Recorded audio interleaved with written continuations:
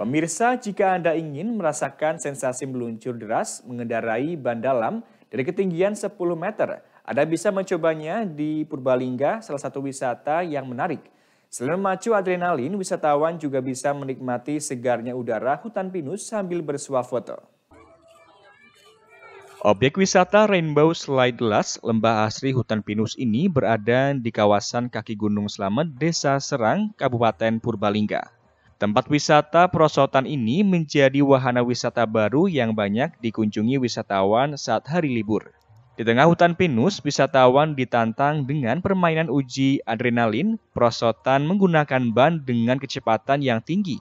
Wisatawan dapat merasakan sensasi meluncur di lintasan sejauh 60 meter. Selain itu, lintasan di tengah hutan pinus juga menambah daya tarik untuk bersuah foto.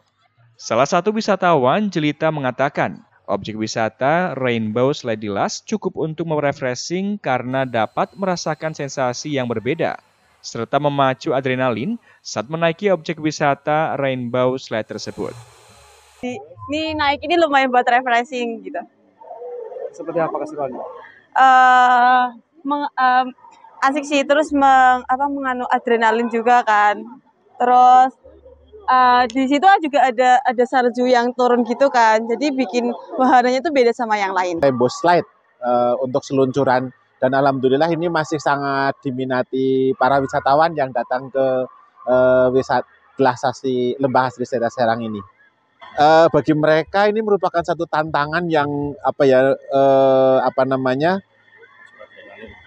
adrenalin lah dia kepengen uh, mencoba tantangan lah untuk menghadapi seluncuran ini.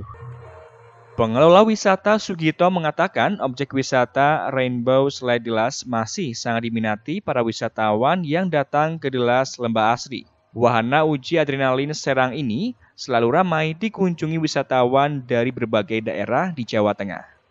Bagi wisatawan yang gemar berwisata uji adrenalin dengan udara pegunungan yang segar, bisa mencoba wahana Rainbow Slide Dilas Lembah Asli Hutan Pinus Serang Purbalingga. Dari Purbalingga, Tarnowo, Satelit TV, mewartakan.